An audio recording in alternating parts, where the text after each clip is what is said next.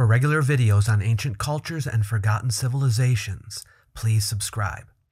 The word Edzna has been interpreted to mean House of the Itza. The Itza were a group of Mayans native to southeastern Campeche. For the Maya of this area, Edzna was the earliest major ceremonial center in what has to have been the most favored geographic setting in all of the Yucatan, on the edge of the largest aguada in the entire peninsula.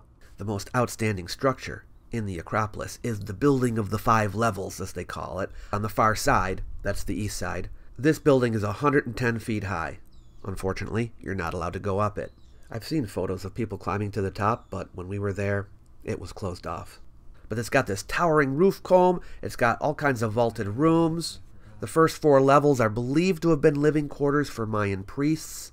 On the fifth level, they found the remains of a shrine and an altar. There are 22 total rooms in the temple, plus five rooms in the building at the very top. Now, this structure was not built all in one go because they found the remains of an early classic pyramid underneath all of this. At the base of the central stairway are four risers that contain 86 glyph blocks forming a hieroglyphic stairway. Now, most of these glyph blocks were found buried in the rubble, and they've been reconstructed by archaeologists, but there is a recovered date of 652 CE. But how did the Mayans record their dates?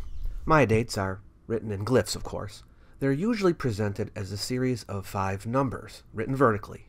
But for ease, scholars will transliterate these dates into our own system by listing a date as a series of five numbers separated by dots. What do the numbers mean?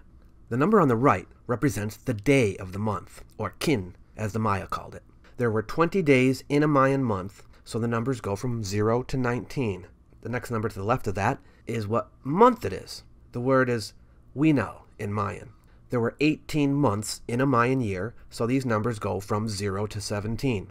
The next number to the left of that is the year, which they call Tun. They counted the years in scores, groupings of 20 years, so the numbers run from 0 to 19. The next number to the left then is the score, or Katun. In which score did this event take place? These numbers also run from 0 to 19, because scores were also grouped into 20s. Finally, we have the era, or Baktun. One Baktun equals 20 Katuns, which means that a Baktun was equal to 400 years. And yes, these numbers also run from 0 to 19. So actually all the numbers run from 0 to 19, except for the month, which runs from 0 to 17.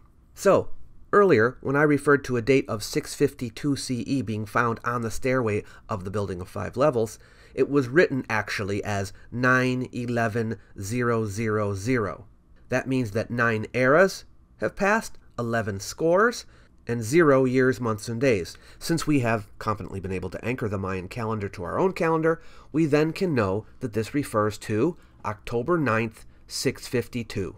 There's a date converter on the internet that's super easy to use. If you want to play around with it, I'll leave a link below. The stairway appears to record the accession to power of King Kal Chan Chak, just a couple of years before the recorded date.